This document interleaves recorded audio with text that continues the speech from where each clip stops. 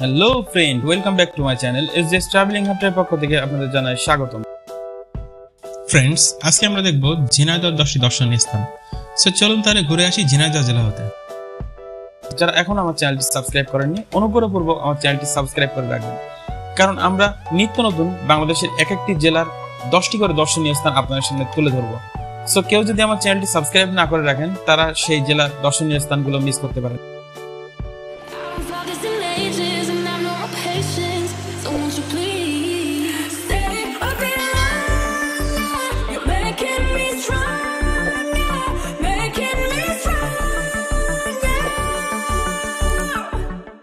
Number ten আমাদের এই তালিকায় দশম অবস্থানে আছে সাতগাছিয়া মসজিদ। বারো বাজার থেকে চার কিলোমিটার পশ্চিমে সাতগাছিয়া মৌজায় বিরাট আকারের সাতগাছিয়া আদিনা মসজিদটি অবস্থিত। আদিনা শব্দের অর্থ শুক্রবার। উনিশশো সালে বিরাট আকারের ডিবির কিছু অংশ স্থানীয় জনগণ খনন করে। এই কিছু অংশ থেকে ষোলোটি থাম ও পোড়ামাটির নকশাসহ পাঁচটি মেহেরাব বিশিষ্ট চমৎকার এই মসজিদের সন্ধান দেন। উনিশশো সালে পুরাকীর্তি সংরক্ষণ ও প্রত্নতত্ত্ব বিভাগ খননের মাধ্যমে আটচল্লিশটি স্তম্ভের উপর পঁয়ত্রিশ গম্বুজ বিশিষ্ট মসজিদটি আবিষ্কার করে। মসজিদের উপরে কোনো গম্বুজ নেই। এই মসজিদ এলাকাটি অনেক নির্জন এবং জঙ্গলাকীর্ণ। নাম্বার নাইন, আমাদের এই তালিকায় নবম স্থানে আছে কামান্নার সাতাশ শহীদের মাজার। উনিশশো একাত্তরের মুক্তিযুদ্ধে শৈলকুপা ইতিহাস আছে। পাঁচ এপ্রিল, গড়াগঞ্জ যুদ্ধ, চার আগস্ট, আলফাপুরের যুদ্ধ, তেরোই অক্টোবর, আবাইপুরের যুদ্ধ, ছাব্বিশ নভেম্বর, কামান্না যুদ্ধ এবং আটই এপ্রিল, ছয়ই আগস্ট ও সতেরোই আগস্ট ও এগারোই নভেম্বর শৈলকুপা থাকা আক্রমণের মাঝ দিয়ে শৈলকুপা শত্রুমুক্ত হয়। মুক্তিসেনারা উত্তরণ করেন স্বাধীন বাংলাদেশের লাল সবুজ পতাকা। শৈলকুপায় পাক হানাদার ও তার সহযোগীরা চালিয়ে যায় নির্বিচারে হত্যা, অগ্নিসংযোগ ও লুটপাট। নাম্বার এইট আমাদের এই তালিকায় অষ্টম অবস্থানে আছে জোড়া বাংলা মসজিদ।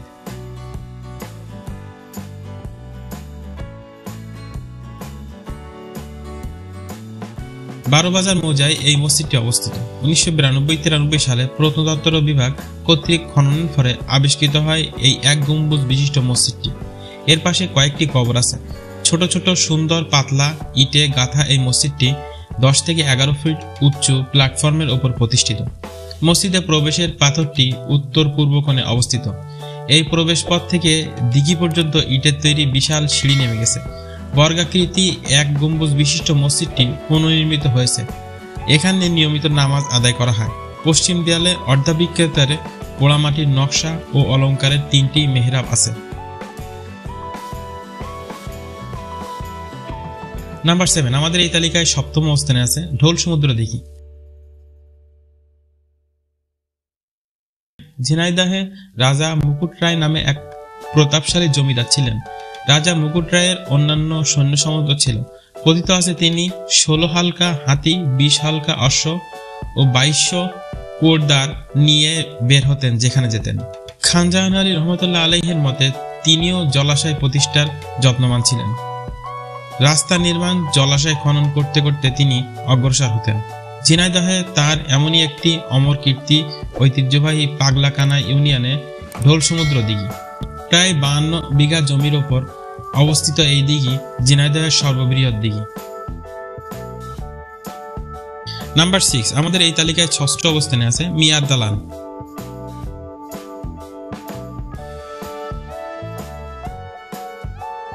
ঝিনাইদহ জেলার সদর থানায় অবস্থিত একটি পুরাতন জমিদার বাড়ি। বাড়িটি স্থানীয় নবগঙ্গা নদীর উত্তর দিকে অবস্থিত। ঝিনাইদহ শহরের প্রাণকেন্দ্র থেকে প্রায় তিন কিলোমিটার দূরে মুরারিদহ নামক গ্রামে এটি অবস্থিত। বর্তমানে বাড়িটি ভগ্নপ্রায়। প্রাচীন ঐতিহ্য অনুযায়ী এই ইমারতের প্রধান ফটকে নির্মাণের সময় কিছু কথা কাব্যিকভাবে খোদাই করা আছে।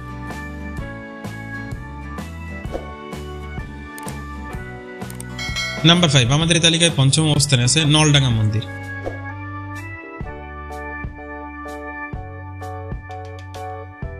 রাজা ইন্দ্রনারায়ণ নলডাঙ্গায় অত্যন্ত সুন্দর এই মন্দিরটি নির্মাণ করেছিলেন। বর্গাকারে নির্মিত এই মন্দিরের প্রত্যেক বাহুর দৈর্ঘ্য বাইরের দিকে ছিল উনচল্লিশ ফিট তিন ইঞ্চি মাপের। গর্ভ মন্দিরের উপরে একটি এবং চার কোণে চারটি চূড়া ছিল। প্রতিষ্ঠিত বিগ্রহের নামকরণ করা হয়েছিল ইন্দ্রিনেশ্বরী পরে নাম করা হয় সিদ্ধেশ্বরী। আঠারোশো পঁয়ষট্টি সালে বেশ কিছু কাল আগে মন্দিরটি নির্মিত হয়েছিল। নাম্বার ফোর, আমাদের এই তালিকায় চতুর্থ অবস্থানে আছে গলাকাটা মসজিদ। লাকাটা মসজিদটি বারোবাজার তাহেরপুর রাস্তার পাশে অবস্থিত।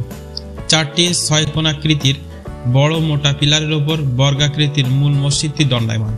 এবং প্রত্যেক বাহু পঁচিশ ফুট লম্বা ও দেয়ালের পাঁচ ফুট চওড়া। এতে তিনটি প্রবেশদ্বার আছে। মসজিদটির পূর্ব পাশে পাকা প্রাঙ্গণ ছিল। ভিতরে পশ্চিমের দেয়ালে তিনটি মেহরাব আছে।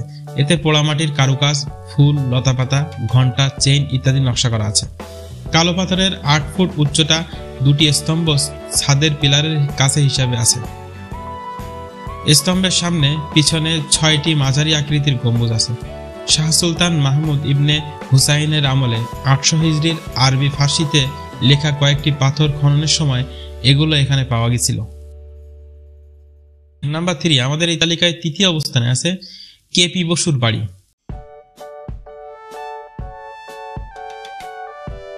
বসুর বাড়ি জগৎবিখ্যাত গণিতবিদ অধ্যাপক কালীপদ বসু উনিশশো সাত সালে নিজের জন্মস্থান ঝিনাইদহ সদর উপজেলার হরিশঙ্করপুর গ্রামে নবগঙ্গা নদীর তীরে এক একর জমির উপর সতেরো কক্ষ বিশিষ্ট এক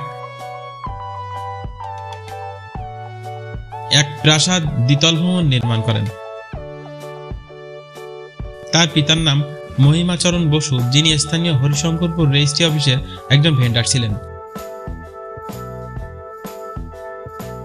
নাম্বার টু আমাদের এই তালিকায় দুই নম্বর অবস্থানে আছে শৈলকুপা শাহী মসজিদ। কুমার নদের তীরে অবস্থিত শৈলকুপা শাহী মসজিদ দক্ষিণবঙ্গের সুলতানি আমলের স্থাপত্য কীর্তির একটি উল্লেখযোগ্য নিদর্শন। মসজিদটি দরগাপাড়ায় অবস্থিত। উত্তর দক্ষিণ লম্বা এই মসজিদটির দৈর্ঘ্য প্রস্থ যথাক্রমে একত্রিশ পয়েন্ট পাঁচ ও একুশ ফুট। দেয়ালগুলো প্রায় সাড়ে পাঁচ ফুট প্রস্থ। চার কোণে আছে চারটি মিনার। মিনারগুলো গোলাকার এবং বলায়াকারের স্ফীত রেখা দ্বারা অলঙ্কৃত। মিনারগুলো মসজিদের অনেক উপরে উঠে গেছে। মসজিদের পূর্ব দেয়ালে তিনটি এবং দক্ষিণ দেয়ালে দুটি করে প্রবেশপথ আছে। নাম্বার ওয়ান আমাদের এই তালিকায় এক নম্বর অবস্থানে আছে মল্লিকপুরের বটগাছ। মল্লিকপুরের বটগাছ নামে এটি বিশেষভাবে পরিচিত।